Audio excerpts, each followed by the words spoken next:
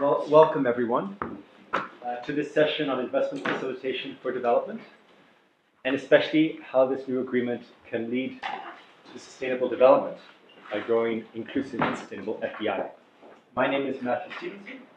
I'm the head of investment and services at the World Economic Forum, and we're very proud and grateful today to be co-organizing this session together with the Permanent Mission of Chile to WTO and with the International Trade Center. And uh, I just want to acknowledge the heavy lift that our colleagues at the ITC, especially Honsao, uh, and online, uh, Korn have done to get us here. And I also want to thank the IISD uh, for the opportunity to be here and the Great Trade and Sustainability Hub. So this session could not be more timely, and you'll soon find out why. Uh, just 48 hours ago, the IFD agreement was presented uh, by ministers to the WTO, and um, it is subject to active negotiation now for its incorporation in the WTO rulebook. We hope for a breakthrough in the next 48 hours. The IFD agreement includes 126 and counting members, which is over three quarters of the WTO membership. And of those 126, 90 are developing members. And so it couldn't come at a better time for us to understand what is in the agreement, what comes next, and especially how it can lead to sustainable development. And so to talk about these issues, we have a great panel today. Um, we will be joined soon by the Minister uh, of Ecuador, Production, Foreign Trade, Investment, and Fisheries. Uh, but we understand her schedule. You know, whenever she comes in, we'll give her the floor. Uh, but we're very grateful that Ambassador Sofia Boza is here with us um, ambassador and permanent representative of Chile to the WTO, and co-coordinator of the uh, IFD process at the WTO. Chile has been coordinating the process for a few years now, so there's no better person to give us the, the inside scoop.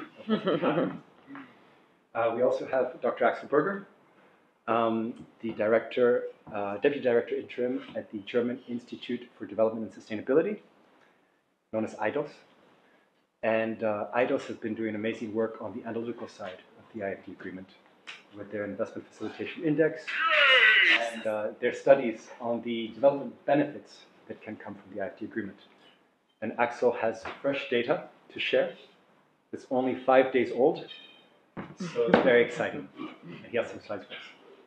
Then we have Escipion uh, Oliveira Gomez, the director uh, for the Division of Enterprises Competitiveness um, and institutions at the ITC. And we've been working closely with the ITC on this topic for a number of years now. We're very grateful for that partnership. And uh, we're very grateful for what Escipion has to say, especially in the area of technical assistance, capacity building, and how to implement the agreement. Uh, given that he has his heart uh, in this, you know, he really wants to make a difference, I know from our conversations together. So with that, I think uh, we'll have two rounds of questions. The first will be about the agreement per se. What is in it? Why does it matter? And the second round will be about implementation. What comes next? Where do we go? And I'd like to acknowledge uh, we have Carlo Pettinato from the EU and we have Christian Tichas from GIZ, and we really want to integrate them in the conversation. They both, you know, have important insights to share. But after these two quick rounds of questions, uh, where about each speaker has about four minutes, plus or minus, we want to get as many questions in as possible. It's much more fun when we have Q&A. So if any speaker goes too long, I'm going to put my hand up like this, just so they know. You can all see uh, together that, uh, that they wrap up that particular episode. So with that, Ambassador Boza, thank you again for taking time. We're dying to know what you can share with us in terms of um, where things stand. Um. Well, first of all, thank you very much, uh, Matthew, for, for inviting us to co-host this uh, this session at this uh, Trade and Sustainability Hub of the IISD.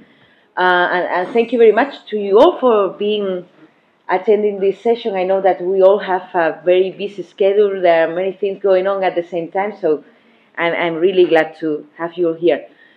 Well, what is going on right now? Many things, but in the last hours, well, as you know, after three years of negotiations, in November 2023, we finalized the negotiations of the IFD agreement, Investment Facilitation for Development Agreement. This is a plurilateral agreement that has been negotiated in the World Trade Organization. And we wanted to take the opportunity that the Ministerial Conference gave to us to present this agreement with the support of our ministers, of our authorities, and that meaning that uh, they are recognizing and endorsing the finalization of the negotiations. So last Sunday, as, as Matthew just said, we had a huge event with more than 400 people participating from the uh, 120 plus countries that we have uh, in this initiative. And there, our ministers endorsed a declaration in which they recognize, as I said, the finalization of the negotiations of the agreement. They uh, present the agreement in its three versions Spanish, English, French not only to the WTO but to the public. The agreement is right now public to anyone that wants to consult it, that wants to know more about it. It's completely public, which I think is a very relevant step as for us it's very important also the engagement of the academia, of the private sector, of course, and uh, the agreement was made public also through that joint ministerial declaration. And also, uh, our ministers presented a, a, request for the legal incorporation of this agreement under the Annex 4 of uh, the Marrakech Agreement. As you know, the, the Annex 4 of the Marrakech Agreement means as a plurilateral agreement of the World Trade Organization. The World Trade Organization already has plurilateral agreements as government procurement, although all of them were born at the same time as the organization itself. So this would be the first time in which an standalone agreement will be, would be incorporated to the WTO legal architecture after the, uh, the, the Marrakech Agreement itself, after 1995. Uh, so that's something that that is it's very relevant for the organization, I think, and we are very much motivated because we think the agreement has a value, especially when we can implement it.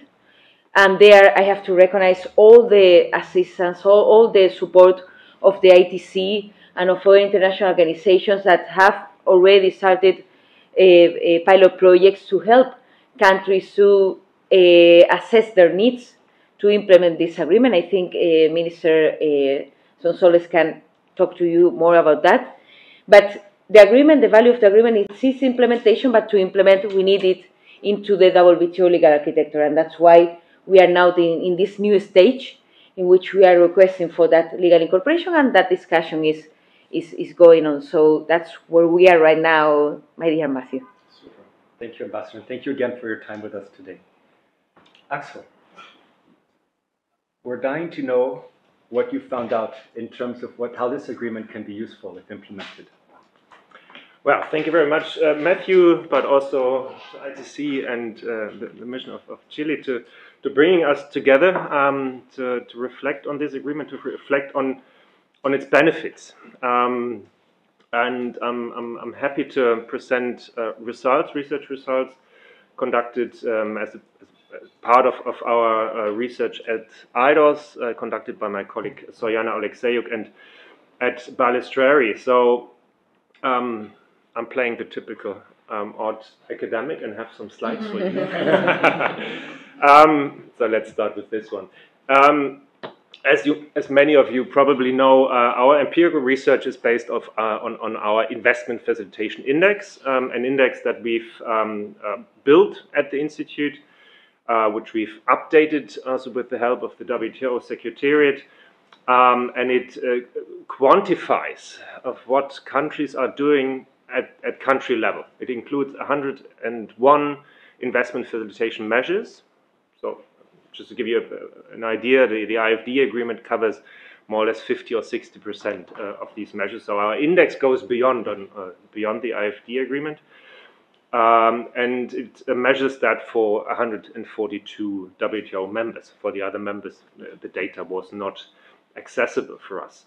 The data is public. You can access it um, on Zenodo, which is a data sharing platform. I'm happy to provide the link afterwards. So what this chart displays is the current level of adoption. So what countries are actually doing at the moment uh, in terms of implementing investment facilitation uh, measures. And uh, what you can see is on, on, on, the left on the left side, um, many developing and least developed countries are, are located, and so their their level of adoption is pretty pretty low, um, slightly above for the for the countries on the left, uh, slightly above uh, 0.2 of an index of a maximum of two. So um, now, in addition to the gray bars, um, you can see the red and uh, and orange bars, which illustrates um, the reform gaps. Um, yeah, relative to the IFD agreement text. And so what we did, we um, we um, we focused on the pure, the binding provisions, shall, shall provisions. Then we also um, uh, focused on the conditional binding provisions, shall to the ex extent practical, shall encourage, shall endeavor.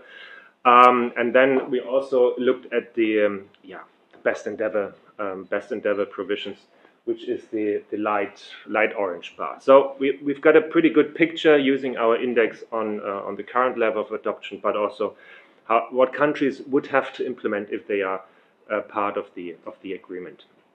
And so the, the, the main message here is the reform pressure um, for, for developing and least developed countries is higher, of course. Um, that's not a surprise. But at, at the same time, this also means that the benefits of the IFD agreement for these countries, for developing countries, is also higher. And uh, that leads me to, to the next slide. Uh, and this, um, this yeah, visualizes um, the, the, the, latest results from my colleagues' computable general equilibrium simulations, or CGE modeling for short. Uh, and this shows uh, the potential benefits uh, that these are sizable.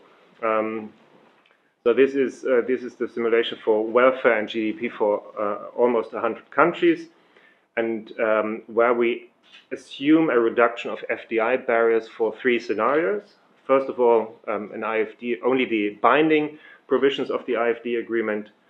That's um, that's the uh, that the red bar of of the last chart. Then full implementation of conditional provisions, that's the second scenario. The third scenario combines binding and conditional provisions. And the fourth scenario combines binding, conditional, and best endeavor provisions. And then we've got a fifth, a very positive scenario uh, where we have additional members. Uh, we've simulated only the results if, if India and the US would become part of the agreement, which then obviously also enhances the results. So to save time, save time, I would like to emphasize three important conclusions from our research. Um, the benefits are highest for low and middle income countries. Among the, the low and middle income countries, especially African countries, would benefit um, the most because they, at the moment, have the biggest reform barriers, uh, obviously. Uh, second, um, the benefits for all regions increase when more countries join the agreement. Uh, we've, as I said, we've illustrated that by including India and the US. By the way, India, a, a country like India, would benefit from some spillovers. But if India would become a, a part of the agreement, its benefits would be um, 2.5 times higher. So there are significant, significant uh, benefits also. Um, and third, obviously, um, the, uh, uh the, the higher the coverage, larger the benefits. So uh, countries benefit um, um, would benefit the most if they um, are able to implement not only the binding but also the conditional and best endeavor uh, provisions in the agreement. And um, that's where I would like to end. But uh, I know there's a second question where I would really uh, like to highlight that countries need support in order to really benefit from this agreement. Thank you, Axel. And, and, let me congratulate IDOS for the amazing work in this space. We really need numbers to, to make good policy. I'm going to put you on the spot for a 2nd mm -hmm. um, I know, I know you've been doing this work for a few years, and I understand over time you may have reached um, more, uh, better insights or more granular insights or more, um, uh, is there any progression? I, I understand maybe the estimates of the benefits went up over time. Do you have any comment on, on that over time as you got to know this topic better? Um, I wouldn't say that the benefits increased, but our understanding of um, the level of granular, granularity is, has increased, right? So um, because we we were able to um, um to simulate the different components of the IFD agreements, right? The, the binding, the conditional, the, the best endeavor provisions, and, and what kind of effects they would have on uh, on members. And what really, um, yeah, what really came out of this this research is that um, if countries are able uh, to, to implement the, the um, agreement in a comprehensive way, they would uh, obviously benefit the most. But that's also, um, I guess, the challenge. I guess we will discuss it when we come to the uh, question of, of uh, needs assessments and, and, technical assistance support. Thanks, Axel. So, so now we have the hard data, we have the numbers, and I'd like to turn to Escipion. Um, I'm so sorry. I was lost. Minister, you're in the right place. Thank you. I'm so sorry.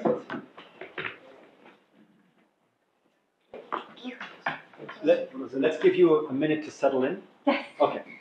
Because I was going to put you on the spot right away. No. No, I won't do that. so what, what happened, just to catch you up, is um, we had uh, Ambassador Boza give us a little bit of the state of play at the IFD. We have Axel from uh, the German Development and Sustainability Institute give a little bit of the numbers on the development benefits. And I'm going to ask Escipion, Director of the ITC, uh, to share a little bit about how this agreement can actually help with sustainable development.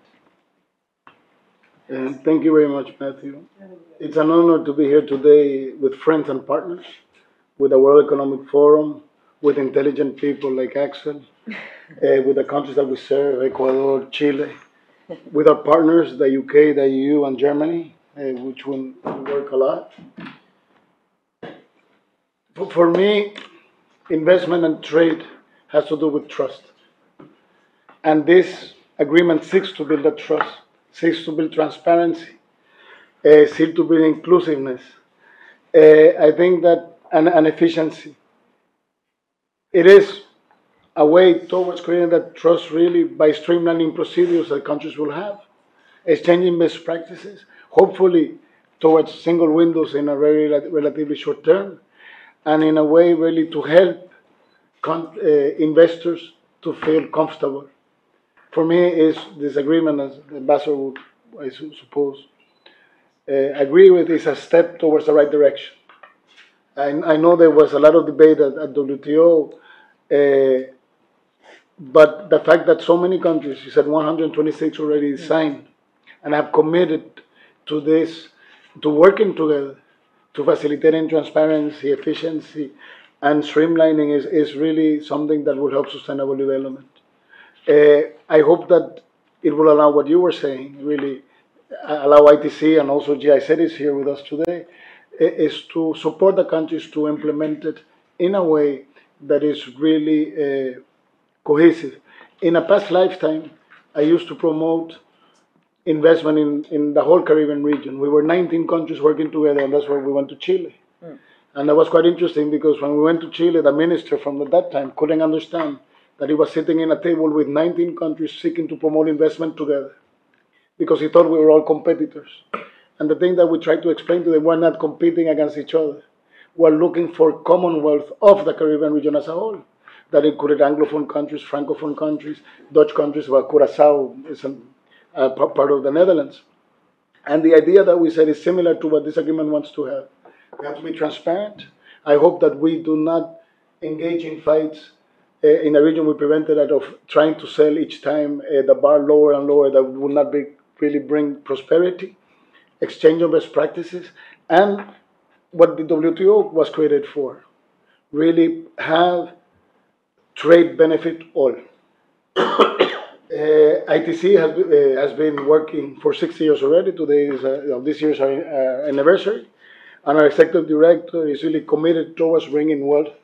I think that, that uh, Uh, our logo is Trade Impact for Good, and I hope I hope also that we can say investment impact for good. Not all investment is good, but this agreement should lead, towards it. a more humane world trading system, hopefully, better investments, and at the end, what we all want is sustainable development and be able to accomplish the SDGs.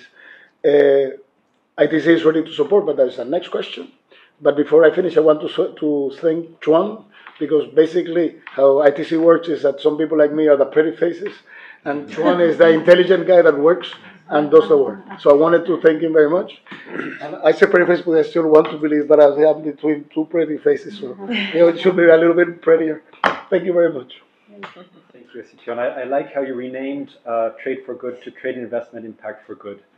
Um, and I think the responsible business conduct and other uh, provisions on sustainable investment and anti-corruption uh, will create those that bar of, of good practice that will allow for this investment to, you know, be good good type of investment, uh, quality investment, as the OECD would say.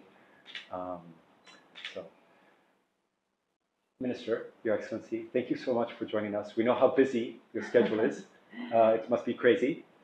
Um, Minister Maria Sonsoles Garcia, uh, Minister of Production, Foreign Trade, Investment and Fisheries of Ecuador. Yes. Ecuador has played a leadership role, Yeah. uh, especially in the implementation phase of the IFD agreement. We'd love to hear a little bit about your experience and why you joined the IFD agreement, what you think it can bring, and uh, what has been Ecuador's journey. Please, Yeah. Minister. Thank you so much. I'm so sorry for being so late. I was lost with my team. We really don't know how to um, handle all the meetings and all the places we have to be. Um, we prepare a speech, and I would like to read it to all of you. Um, for me, it's a great honor to be here and uh, with all this committed audience today, representing Ecuador in a double capacity. First, as a, one of the signatories of the Joint Declaration on the Agreement on Investment Facilitation for Development, and secondly, as one of the first countries to apply the self-assessment guide to determine the levels of commitment they could assume under this initiative. This is why, in the first instance, I would like to refer to the IFD uh, agreement. The successful completion of this initiative is, without a doubt, one of the most encouraging news about the relevance of the work of this organization. The World Trade Organization has been crucial in expanding global trade flows in the last 30 years, but at the same time, it, is it, it has been limited in advancing a trade negotiation agenda, which, let us say clearly, has significantly affected the advancement of the legitimate objectives of the developing countries. Thus, now having a new agreement regarding a key aspect to support our countries, such an investments facilitation for development, it is a milestone that we cannot fail to highlight at the level it deserves. Ecuador is a country that always believed, supported, and now signed the text um, of the joint declaration that officially gave birth to it. This is why this is an occasion of undisputed satisfaction for us. My country's support for this initiative was not a decision taken lightly. Through rigor, rigorous analysis, we concluded that the IF, IFD agreement complements national investment promotion efforts, serving as a crucial element in improving our investment environment. From the beginning, the initiative emphasized maintaining development as its cornerstone, aligning with Ecuador's vision of inclusive and sustainable growth to contribute to poverty alleviation and job creation, among other key national objectives. In this line, I would like to highlight the importance of Section 6 of the IFD agreement, which introduces innovative provisions on sustainable development, including responsible business conduct and anti-corruption measures. These provisions, which mark a historic moment as the first of their kind within the WTO framework, put respect of, for human rights, working conditions, and environmental protection at the forefront. These elements are not simply compliance checkboxes, but catalysts for responsible business practice that contribute to the broader social good. The, object, the objective is to move from focusing attention on business transfer for exclusively economic purposes to promoting and consolidating associations that without abandoning the commercial objective contribute to the sustainable development of the host country. Regarding the implementation of the self-assessment guide, I would like to convey that it was a success. Largely thanks to the excellent preparation of it by the General Secretary of the WTO, the collaboration of the institutions such as the ITC and the Inter-American Development Bank, and the joint work that we were able to carry out from the Ministry of Production, Foreign Trade Investment and Fisheries and the Permanent Mission of Ecuador to the WTO. At this point, I would like to thank all the institutions involved in the development of the Needs Assessment Guide, which allow us to carry out our work and culminate this important exercise with a successful outcome. Although the IFD agreement has its main reference uh, the agreement on trade facilitation, in the case of the former, coordination for the development of the matrix of national commitments is much more demanding. This is because in the case of the TFA, the coordination was carried out primarily with the customs authorities, while in the case of the IFD agreement, it has had to be coordinated in the case of Ecuador with around 30 different institutions, some sort of them subnational in order to have all the necessary inputs to complex the matrix. This led to at least four plenary meeting, meetings being held at the national level between the months of June and October of 2023 in order to explain the nature of the process of filling out this commitment matrix, the context that should be complete, completed by each institution, the times that should be complied with, and above all, the advance in the compilation of the information necessary to complete the self-assessment exercise. This allows us to arrive with the defined contact points in each of the institutions with well-developed information for the development of the National Self-Assessment Workshop, which was developed by um, was developed between October 30 and November 1st of 2023 and which had the value participation of the WTO Secretariat, the, I, the IDB, and the ITC.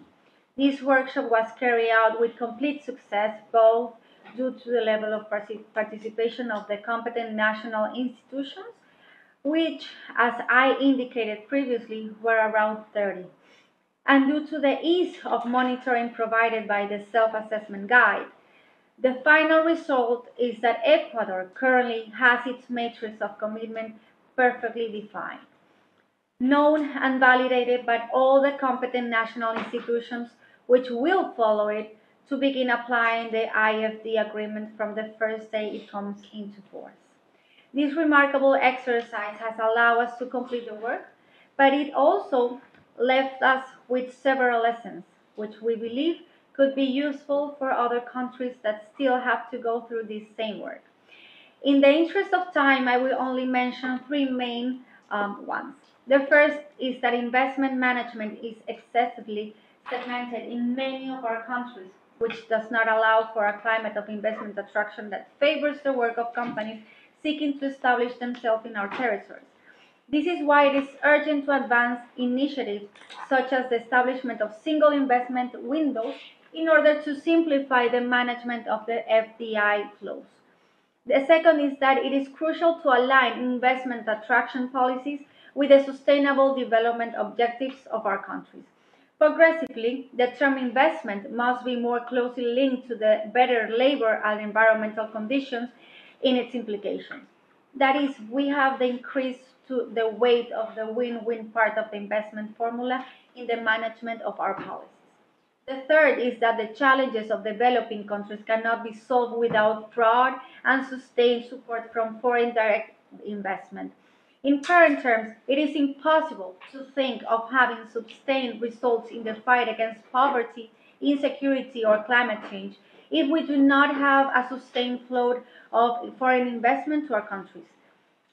All the work carried out so far is just the beginning of the journey. Now we have a new tool to manage the attraction of investment.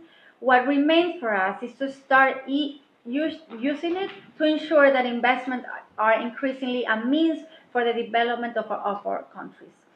For this, we know that we have the support of institutions such as the WTO, ITC, and other organizations that have taken on the challenge of participating in implementation.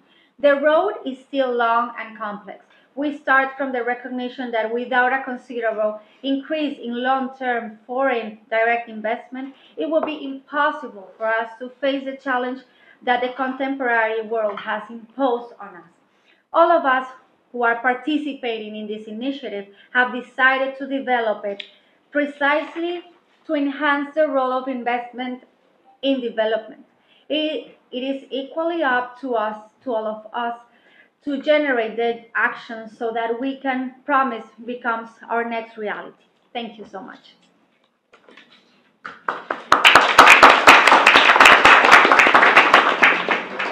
Thank you, Minister, for having developed you know, such a thorough um, lessons learned for us today, uh, which we took careful note. I really like your word, use of the word, as this is a new tool. I think that's what it is. It's a political tool, a technical tool uh, to make progress. Axel, could you please bring back the next? Um, so now, I think we'd like to just briefly make a few quick comments on the implementation, building on the minister's experience sharing of the three lessons with the needs assessment. Um, you know, this is all about capacity building and, and, and needs assessment. So where is Ecuador? Yes, is Ecuador here? Basically, basically what we need to do is we need to go from from here to here, right? And so we need technical assistance and capacity building to do that.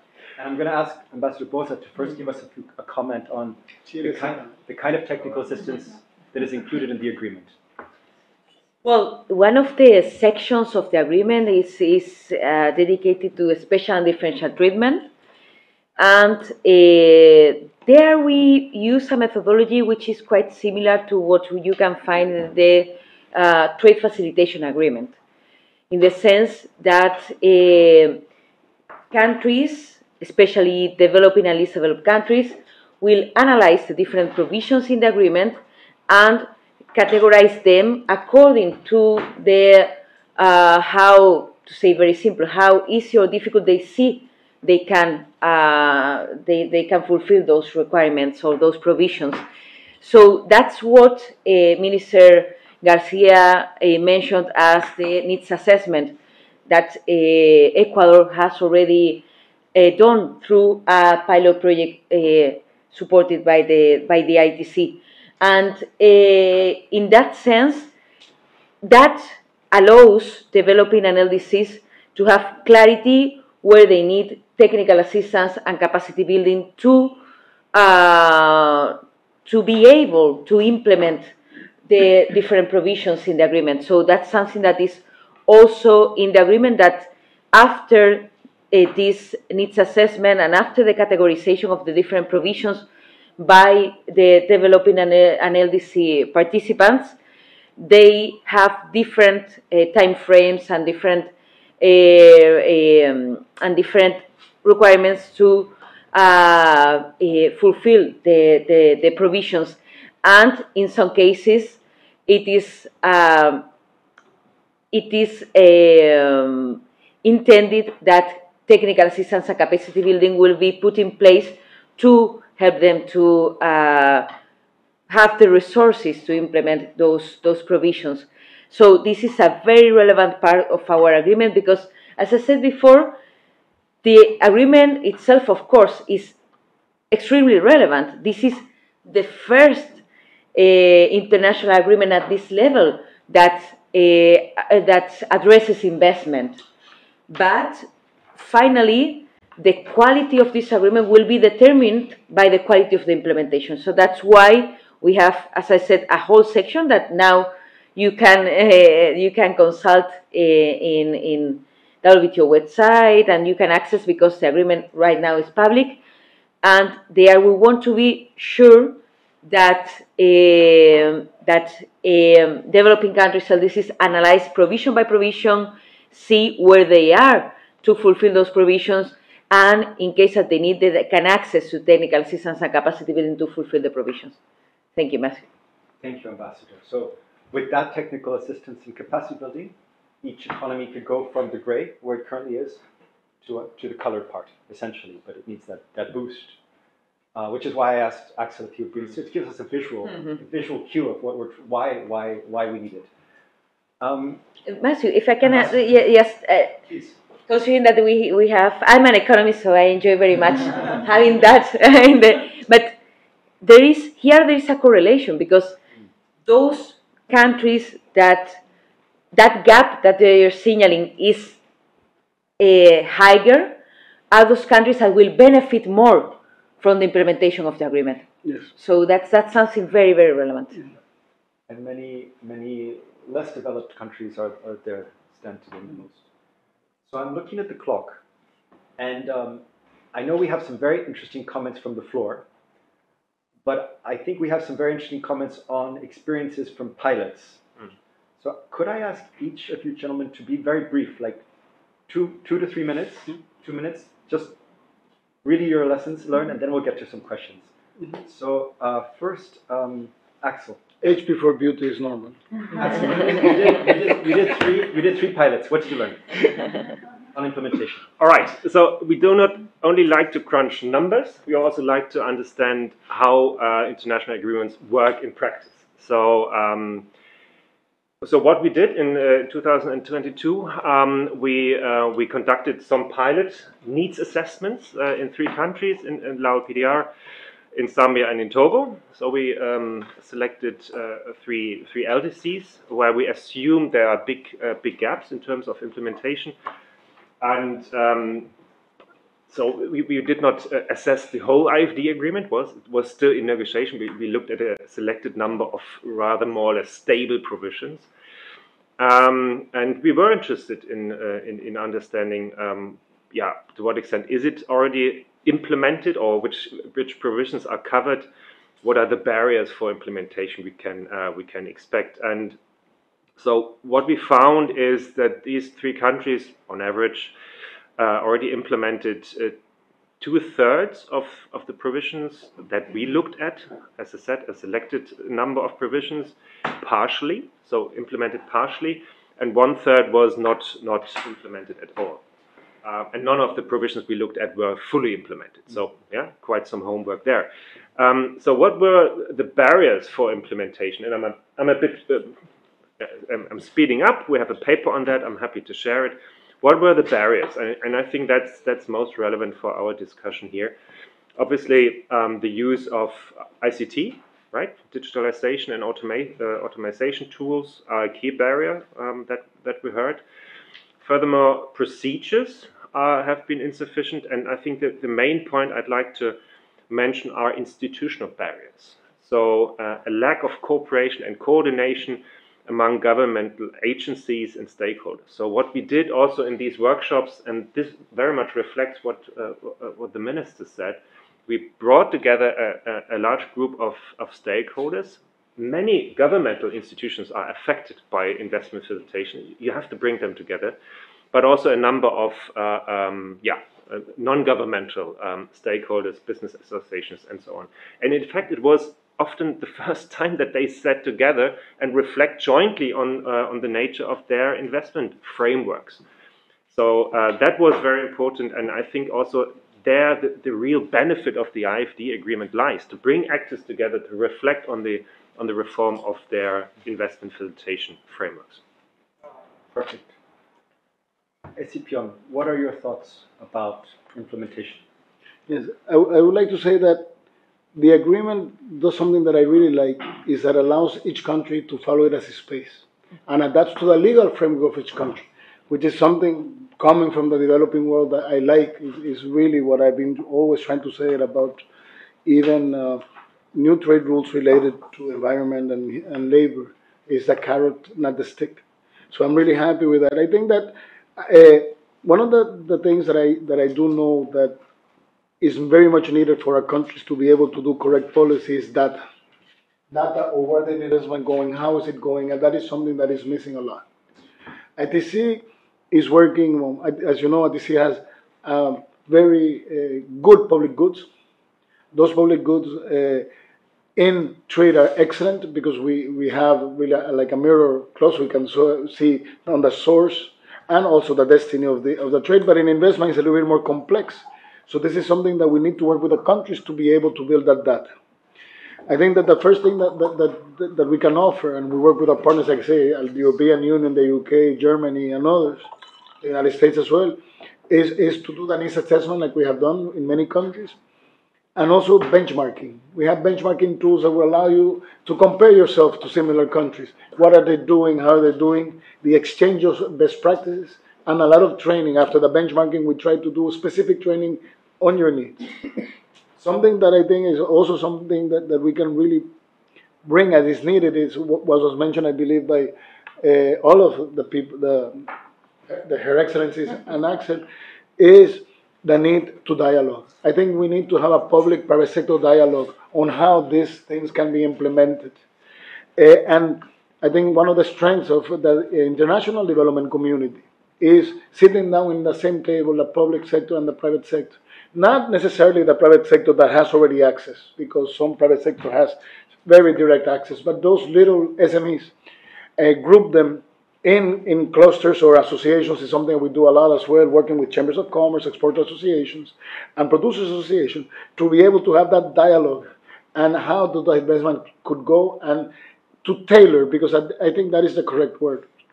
How can we tailor the needs of this agreement and of uh, sustainable investment into each country rather than an imposition. So ITC uh, has those tools. We are working with partners again, uh, and uh, also we, we hope to work with other UN agencies, with WTO, uh, with WEF definitely, in which we are part. of. maybe to uh, we're working with WEF in what we call WIDA, the World in, uh, Investment International Development Alliance. And Development Alliance, where we all sit together to, to try to promote sustainable development, the sustainable investment and trade. Because for me, ITC is specialized in helping trade promotion organizations, but also investment promotion agencies is the other side of the coin. You cannot see investment without trade or trade without investment. So sorry, I always speak too long. It's all right. I stop. Perfect. so now comes the most fun part. So uh, please, everybody, think uh, of questions. But I know Christian Pichas and Carlo Pettinato please take the floor first. But we'll take as many questions, comments. We want to hear from as many people as possible. So uh, please, gentlemen. I can, I can go first. With pleasure. Thank you. Um, Axel, is it deliberate that the German Institute does not evaluate Germany? I mean,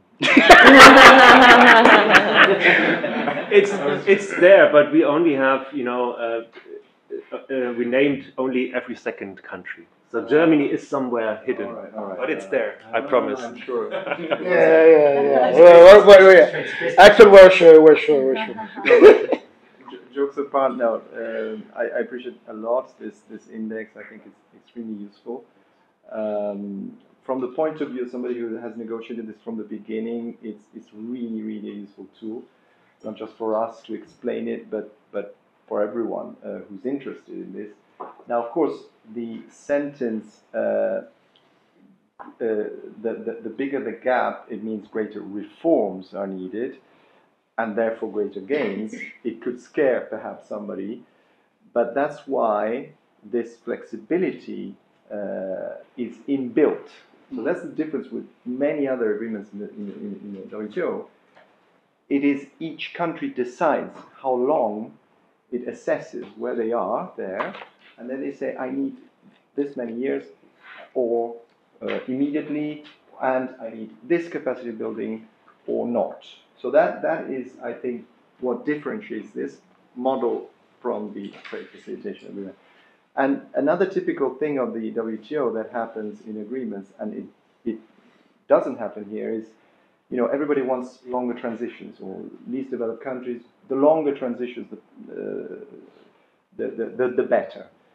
In this case, we are quite relaxed about this because everybody has an interest in implementation. because the sooner they implement, the bigger the gains and the sooner the gains. So we are quite happy with this flexible instrument because everybody wants investment. Uh, that, that, that's what they. Uh, that's what happens, and it's exactly that. It's a carrot. It's not the stick. If you don't do it, we'll punish you. No, it's everybody has an interest in doing this to attract more investment. And I think Uh, the experience from Ecuador, I remember when I was in Geneva uh, and speaking with, uh, with your colleague uh, who was there, who was telling us really the experience of the self-assessment, the needs assessment, which was quite telling and, and saying, you know, there are agencies that know, don't always talk to each other, and that exercise really brought together everybody who's involved in investment. So in itself, even the self-assessment is uh, has value. And I finish with the elephant in the room. Uh, uh, this is a great tool, potentially, potentially can can produce gains, but it needs to be incorporated. Will it be incorporated in the WTO? Because um, that, that that is simply the question. I, I'm, Thank you, Carlo. Carlo being the lead negotiator on investment for the EU, just for everyone to, to know. And I think that goes directly to the idea that Christian wanted to put on the table, uh, our colleague from GIZ. Thank you, Matthew. And uh, first of all, congratulations to Ambassador Boza for having so successfully facilitated.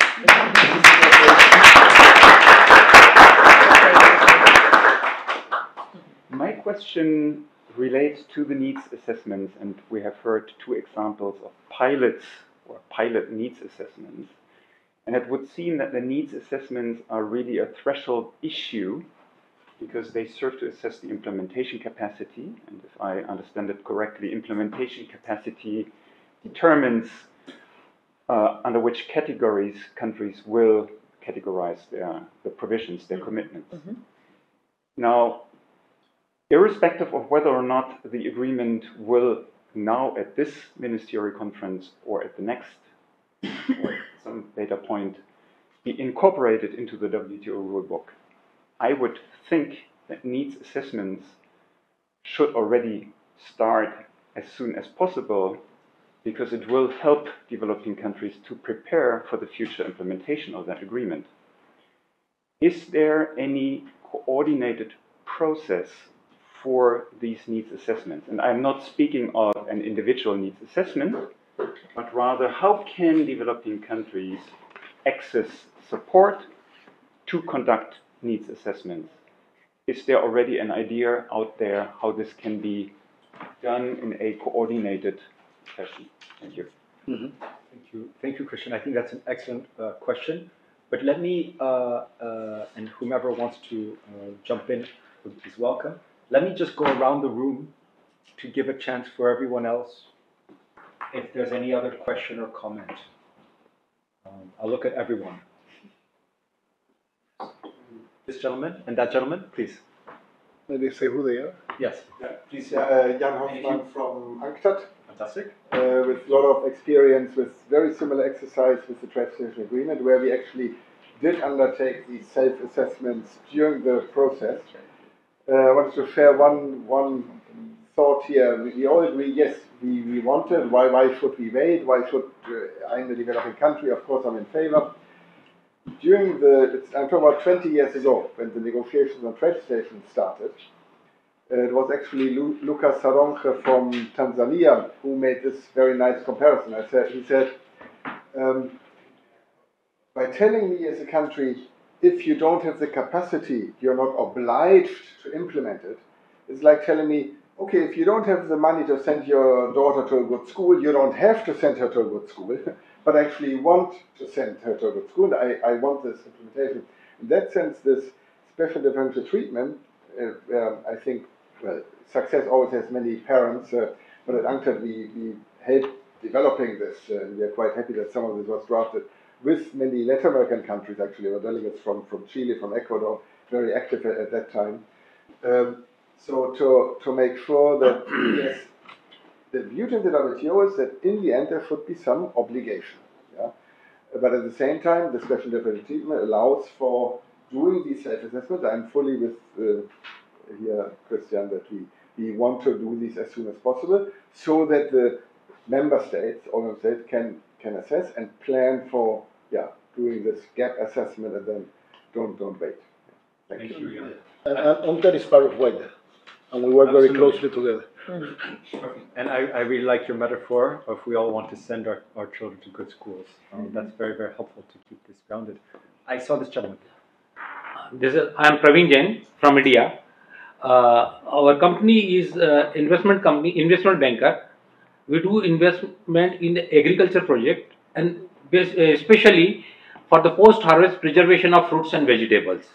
Our company's uh, uh, uh, vision is that if fruit, fruit, fruits and vegetables are most perishable in the world, everywhere, every country loses 30 to 40 percent of its fruits and vegetables. If we stop that either waste or lost, it will uh, reduce the methane in the ozone gap. It will be green project. For that, we are ready to invest anywhere. Just my question is related with the implementation, how IDF, IDF agreement will applicable for that. We are going to have the two projects, one in Nigeria for the banana processing, another in Uganda for the pineapple processing, right? And it is more than 50 billion dollars project, right? So what type of help we can get the IFDA from throughout the world? That's fantastic. Th- Thank goodness we have an investor here in the room asking these, these excellent questions. sure, Excellent sure, question, sure. excellent question. Actually, in a, in a moment, I'm going to ask all of our panelists to react one by one and also close their, their closing remarks slash reaction. But let me just see if there's any other question or comment. Sir. Yeah, thank you. Um, I'm from the University Laval uh, in Quebec and uh, from the University of Bordeaux in France. Um, thank you very much for your presentation. It was very interesting. Um, my question is more focused on the legal perspective. Um, there is a broader TSD in this agreement and technical assistance too, but this is uh, uh, typical provisions that uh, are included that are included sorry in WTO agreement.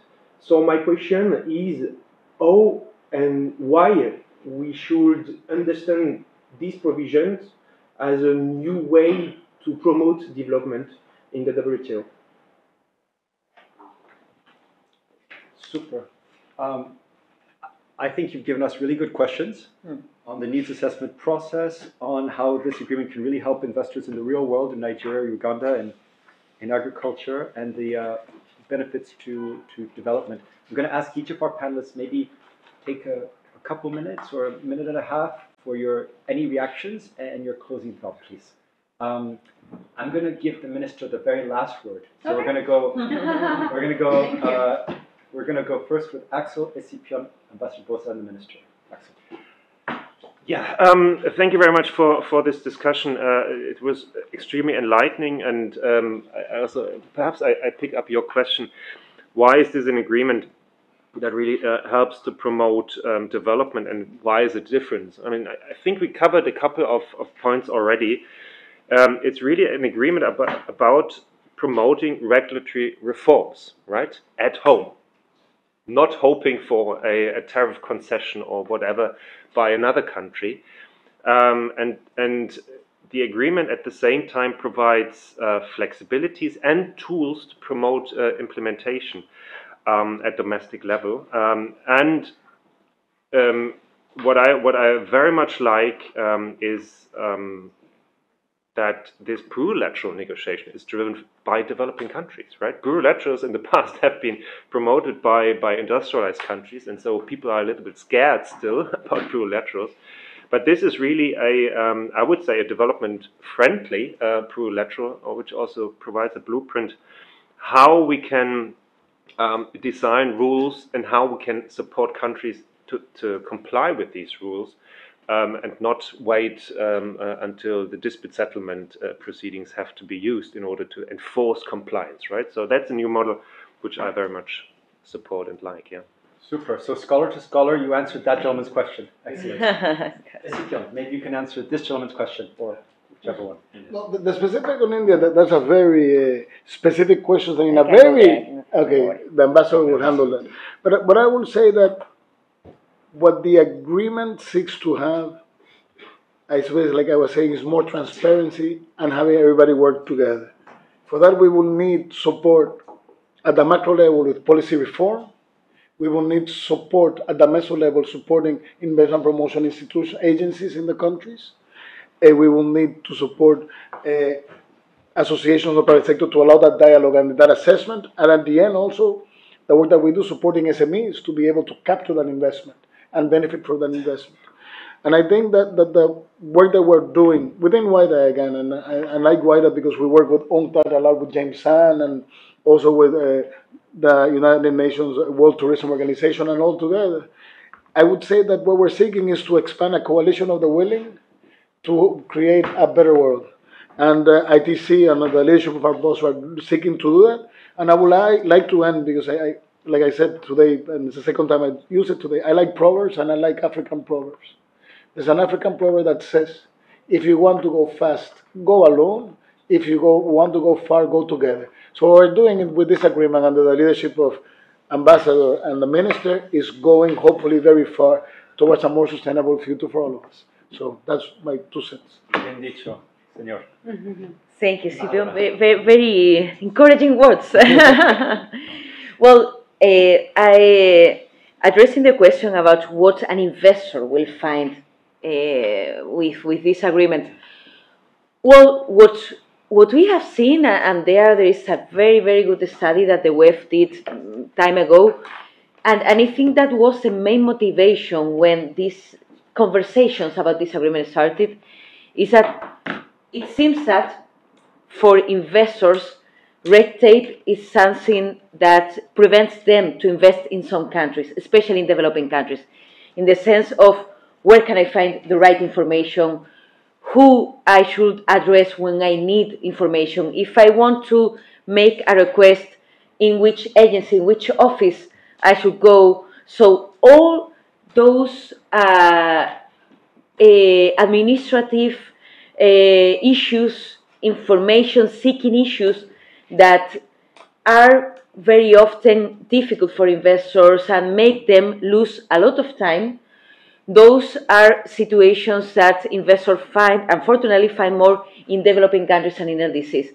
So, what we want to achieve with this uh, agreement is uh, is diminishing the gap between uh, developed and developing countries and for investors to make easier to find the right information, to have streamlined administrative procedures, especially in developing countries, and this is for them to invest and don't lose don't losing so much time on that. Uh, for and that don't be so relevant in the decision because the what they find is a more friendly climate to, to invest. Super. So when No, no subsidy, no grants. No subsidy, no. No, it's not about that. No, no, sorry, que no empecé lo que you will be able to, todo- you, you will be able to find the information on the subsidies more easily because it'll be transparent. That's true. Thank you for your If patience. Minister, No, yeah. um, and especially for being with us. The floor is yours to close the session. Thank you. I have a question for you. Why you haven't gone to Ecuador to invest? You're an investor. I'm glad that I'm meeting you. You have to come to Ecuador. Um, Or Chile. and we're trying right now to, to put on a, a single investment window in order for investors to identify all the licenses and processes you have to go in order to, to put the investment in Ecuador. But um, rather than uh, you know answering each question, I, I want to um, for you to get to know a little bit more about Ecuador and what we are doing as policymakers. First of all, 74% of Ecuador exports come from MSMEs.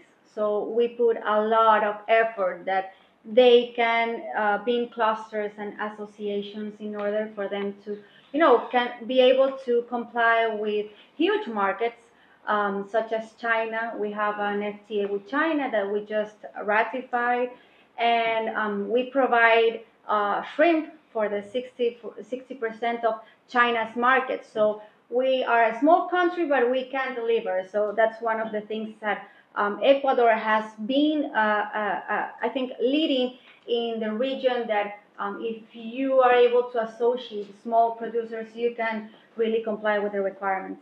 Also, um, 85% of what we export um, is for, from what we grow because we are a very small country. We are only 18 million people. So 85 uh, out of the 100% that we produce, 85% is exported. Um, we are a country that we have oil, gas, minerals, and a lot of agricultural uh, and fisheries. And um, one of the things that this um, investment agreement help Ecuador do is that we do not only focus in how we can attract foreign investment, but that they understand that we we really need to have sustainable agriculture. We care for our fisheries and for uh, the sustainable of the oceans. We have the Galapagos, we have the Amazon, we are the lungs of the world. So even though we are one of the providers food for the world, we also um, understand that we have to preserve and care for our own resources. Um, also, I think that for investors, you need legal certainty, you need political stability, and um, I think right now with President Novoa, we have that.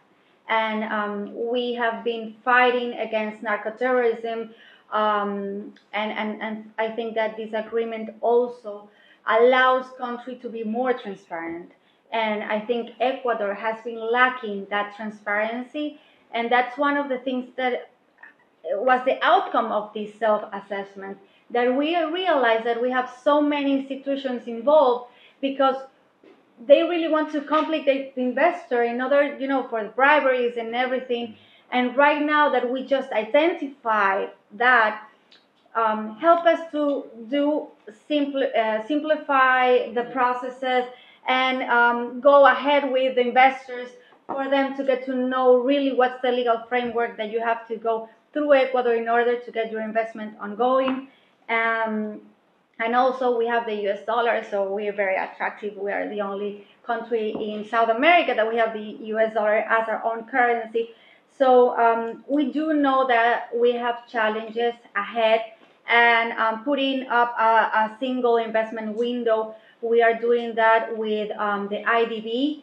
Um, and, you know, I think developing countries have a lot of steps to go until we get near to the developed countries, but I think um, this investing this investing um, agreement will help developing countries to go steps ahead. So that would be my remarks. Thanks.